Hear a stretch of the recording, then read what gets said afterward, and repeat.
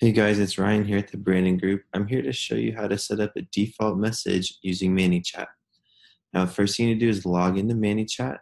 Come over here on the left-hand side and click on um, Automation. And then we're going to have a welcome message. All right, so the welcome message, and this one, ours is already set up, but I just want to show it to you from here.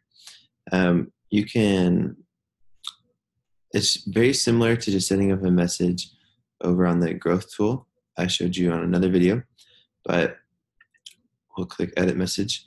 You just can set it up here. And so we have hi, first name, how can I help? And then we did a list here. So we have set up a phone call or I have a question. Okay. And on the set up a phone call, as you can tell, we attach the link to our personal uh, phone call setting website. Or if they have a question, we have an auto response that's set up right right on. What's up? I'm here to help.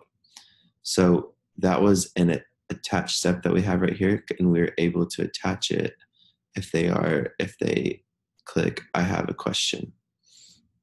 And you can edit that part over here at the flow builder. So they set up a phone call, took them to a website. If it said have a question, hey, it got here, and we went to right on what's up. I'm here to help.